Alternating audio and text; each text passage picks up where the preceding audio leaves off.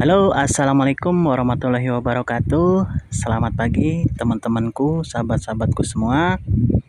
Salam pengangguran salam sehat selalu, tentunya. Salam satu hobi, ya. Baik, pada kesempatan kali ini uh, saya akan mereview, teman-teman, atau kita akan mengecek hasil setelah uh, saya aplikasi magnesium sulfat, nih, tentunya, ya. Nah, tentunya dengan pupuk uh, yang biasa saya pakai yaitu NPK 1616. Nah, uh, kebetulan ini uh, kan uh, lokasinya ini di lahan sawah ya teman-teman. Bisa teman-teman lihat ini airnya juga lagi saya genangin untuk uh, menyiram ya tanamannya. Dan ini alhamdulillah untuk tanamannya sendiri ini udah tiga uh, bulan ya tiga bulan kemudian ini untuk uh, kita lihat nih teman-teman tuh bisa teman-teman lihat tuh sekarang daunnya hijau hijau royo tuh hijaunya hijau mengkilat ya teman-teman tuh. Kemarin kan agak kusam ya sebelum uh, kita aplikasi magnesium sulfat gitu. Nih bisa teman-teman lihat.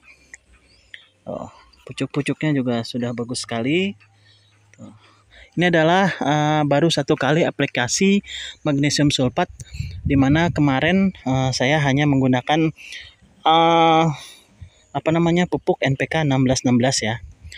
Nah, bisa teman-teman lihat tuh. Ini sangat hijau royo tuh. Hijaunya hijau bagus ya tuh. Seperti ini. jadi sangat bagus sekali untuk unsur uh, magnesium sulfat ini uh, sangat penting sekali apalagi di lahan uh, persawahan seperti ini gitu tuh ini uh, satu kali aplikasi aja bisa teman-teman lihat ini sudah pertumbuhannya nih ini baru minggu kemarin saya aplikasikan ya nih nah sekarang bisa lihat tuh. Ini percabangannya atau uh, batang-batangnya tuh batang-batang mudanya cepat sekali teman-teman tuh. Ini untuk daunnya bisa dilihat tuh. Ini uh, hijaunya itu hijau royo ya jadi uh, mengkilat gitu. Nah ini untuk varian apa ini? Gospi ya teman-teman tuh. Gospi juga sangat bagus tuh pertumbuhan daunnya dan pucuknya itu sangat bagus. Nah ini udah mulai merembet ya teman-teman tuh. Jadi sangat penting uh, sekali lagi untuk aplikasi magnesium sulfat. Bahkan udah ada yang sampai 2 meter ya. Nah, kemarin udah saya uh, potong atau potes pucuk untuk uh, menyetop menyetop uh, apa namanya uh, pertumbuhan ya. Nah di sini seperti ini tuh, tuh. oke yang ini juga tuh. Ini udah saya stop di sini. Nanti kita akan lihat lagi atau kita review lagi setelah satu minggu lagi ya teman-teman. Ini pertumbuhannya pokoknya ini ini uh, sekarang minggu ini di, di kawat yang ini yang ini ya teman-teman. Nanti kita akan review untuk khusus pohon yang ini Julian ya teman-teman tuh.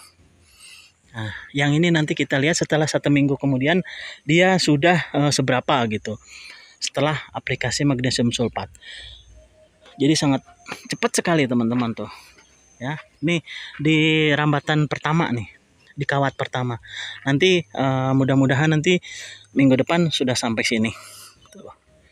Oke kita lihat ya. Nanti uh, kita review lagi di uh, minggu depan. Nah, bisa teman-teman lihat tuh. Ini alhamdulillah juga di sini kalau yang lain sudah uh, sebagian ya. Karena ini juga sebenarnya sih uh, penanamannya bareng ya. Oke, jadi itu aja teman-teman uh, sebagai atau penambah motivasi aja dari saya uh, dia dari ke dari kebun CSK Grab ya. Semoga bermanfaat uh, menambah semangat terus semangat pengangguran. Salam pengangguran. Saya ucapkan wassalamualaikum warahmatullahi wabarakatuh.